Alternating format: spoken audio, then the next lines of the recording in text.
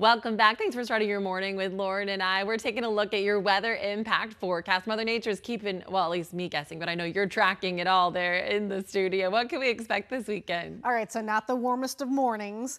By the afternoon, it's where it's at. I mean, we are getting into prime hiking weather across the lower deserts. Still chilly though by 9 a.m. Lower 50s, lower 60s through the lunch hour. 70 degrees come early afternoon, and we're going to sit in the low 70s for a good chunk of the day under plenty of sun. You want to grab those shades. Flagstaff, we're talking about near normal highs later today, 57, 60s then tomorrow into Veterans Day, and overall we're kind of cruising upper 50s to the lower 60s. We'll take it, not too shabby at all given the time of year. Everyone is waking up to a mostly clear sky, and that's the culprit for these early morning lows to fall off a bit more so. We have kicked that area of low pressure to the curb. Can you pick it out right here? That was responsible for the lower temperatures over these last few days. And you can feel it too. Definitely a bit of a bite to the air. Well, now that's pulling away. We're in between weather systems.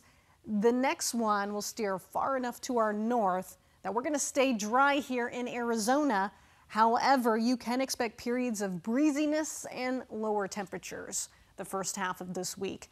Next system after that set to arrive one week from now, next weekend. And that right there going to knock down our temperatures even more next Saturday. So soak it all in today. Lower desert highs in the 70s.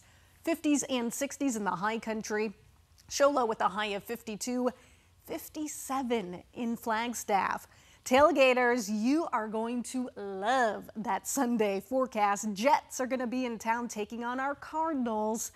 69 degrees lunchtime, lower 70s early in the afternoon. Kickoff time, low 70s. We also have the championship NASCAR race at 1 o'clock tomorrow. So it's a big sports weekend valley-wide, especially in the West Valley. 79 degrees by 2 p.m. tomorrow. You want the hat, the shades, lower 80s between 3 and 4 p.m.